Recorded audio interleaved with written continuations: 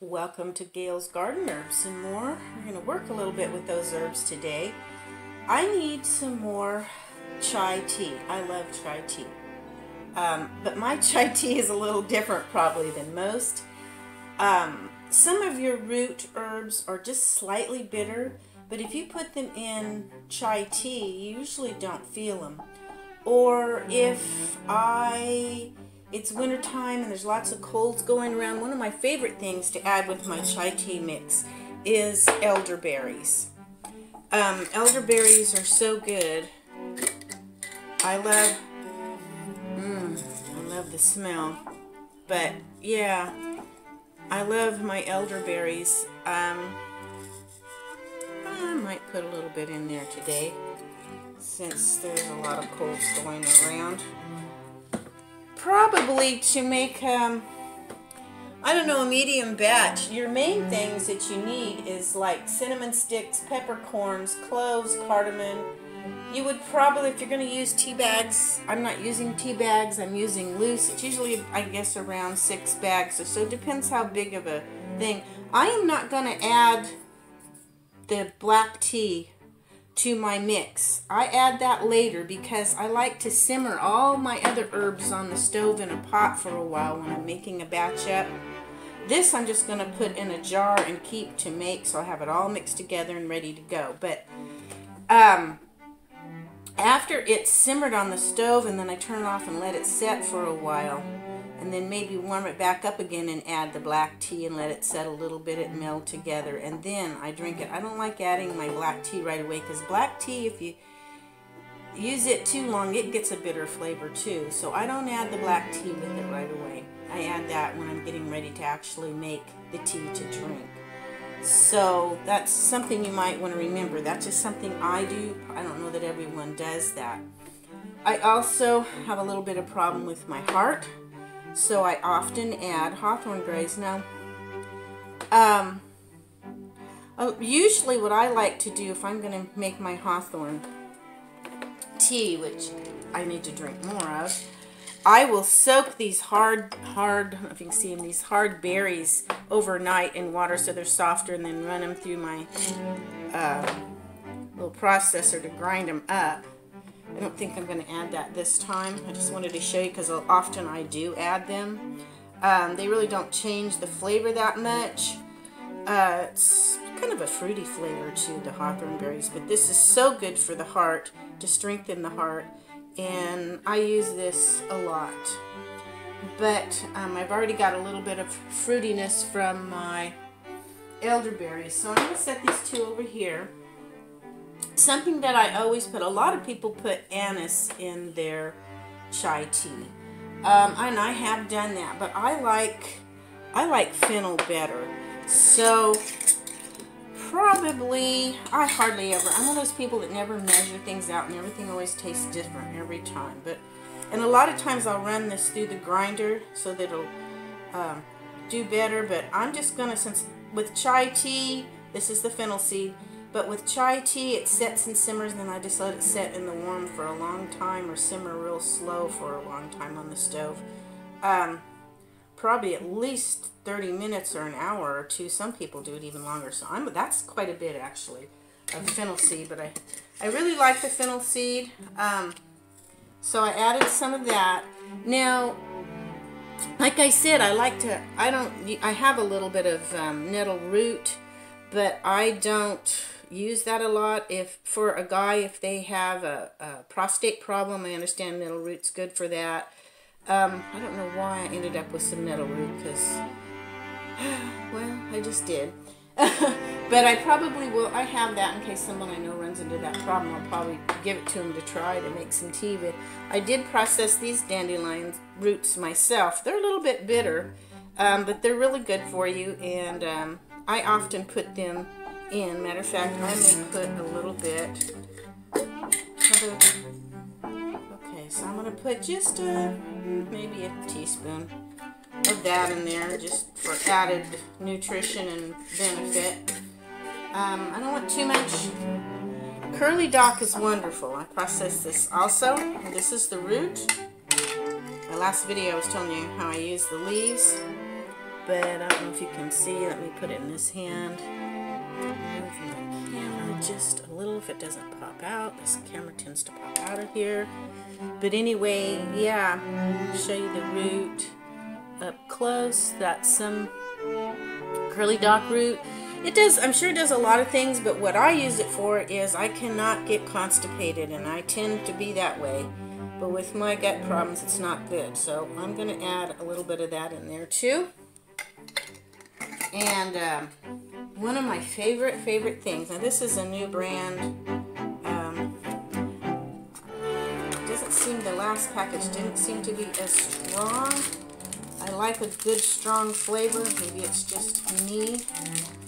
Um, but this is cardamom. I love cardamom. If you've ever tried cardamom coffee, you, that is awesome. You make some coffee and add your cardamom to it, and it has the freshest, wonderful, wonderful flavor to it.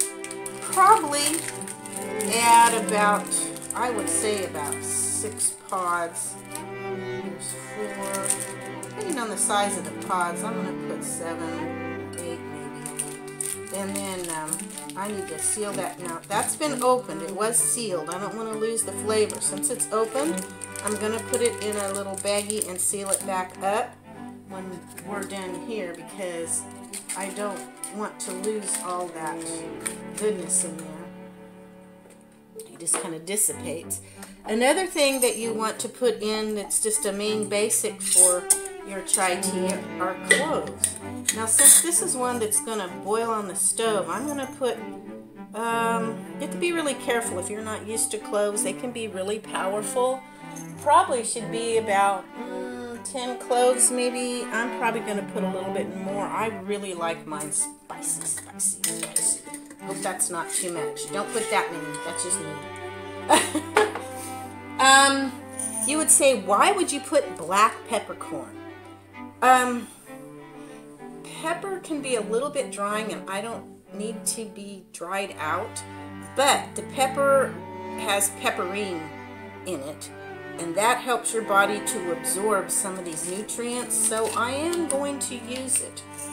Um, I don't know, there's maybe, I don't, I'm not going to use, maybe you can see that, maybe, I don't know how many peppercorns, it's up to you but it's not even a teaspoon really. I don't like a lot of pepper, but yet I really want it to get, because it does, the pepperine really does help. Cinnamon bark is better. Probably about two cinnamon sticks is what you should use. I ordered cinnamon bark, but I didn't know it was already all powdered. Somehow I missed that, so I ended up with powder. So, I don't really like that idea. I've got to get some more cinnamon sticks or the little chopped up pieces.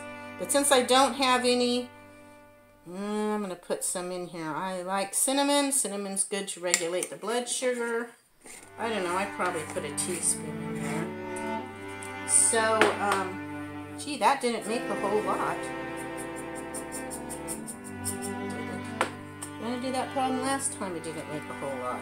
But I don't like a whole lot at once.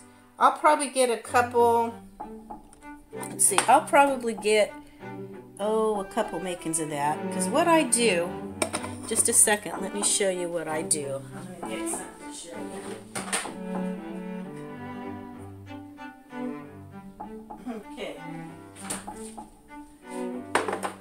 Is a bottle of my already done up on the stove, the liquid I put in there. And then I can just mix it up real quick in the morning because my mornings are so hurried before my little one comes that I homeschool. Now I also have a bottle, a jar of ashwagandha tea that I made up and I'll mix some of the ashwagandha into my chai tea as well because ashwagandha is bitter. At least mine turns out bitter.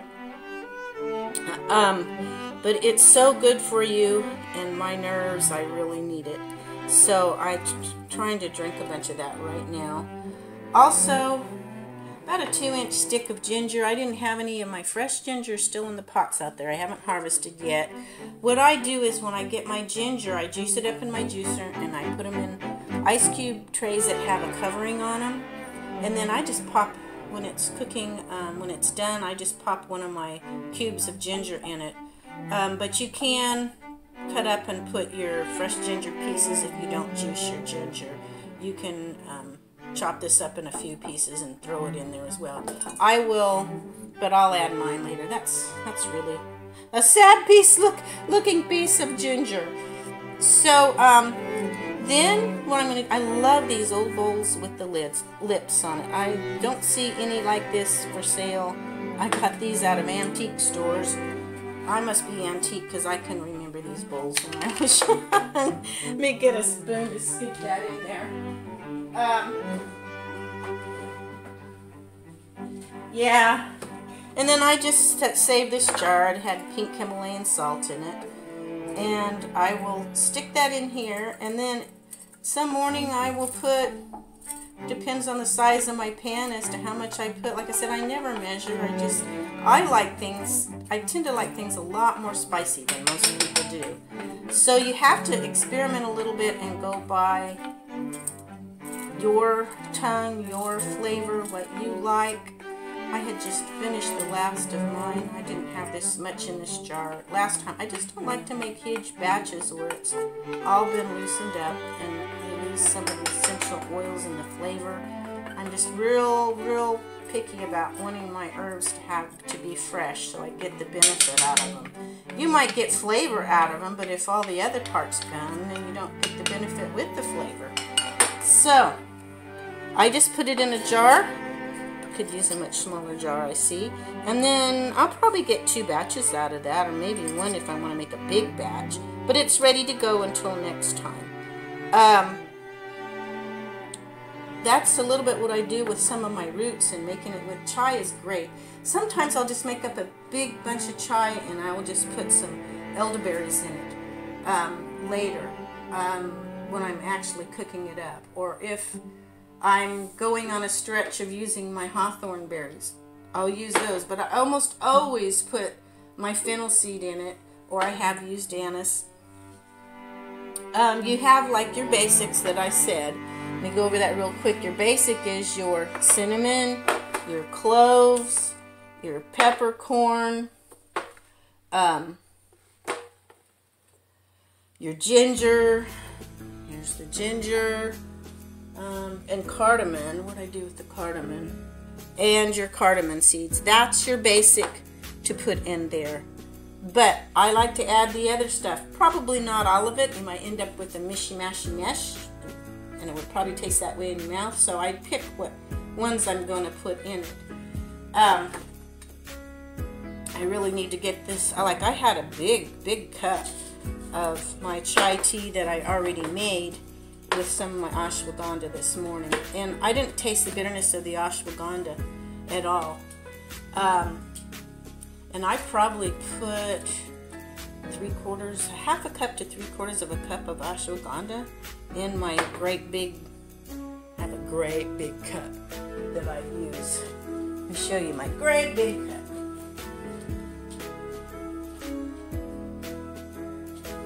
Sorry, I'm coming, I'm coming. okay, this is my big cup. I mean, it's a big cup. I'm, I drink a big cup of chai in the mornings. I like to sit and sip it relax before my day begins. But anyway, that's a little bit about how to do that. I hope y'all got something out of this and some ideas. And please give me a thumbs up. Share my video. I'm trying to get them out. I don't have a lot of family and friends in on this adventure. It's just little old me, so I need your help to grow my channel and share with others. And I hope you all have a blessed day. Bye now. Yeah, well, maybe bye if I can find how to turn this off.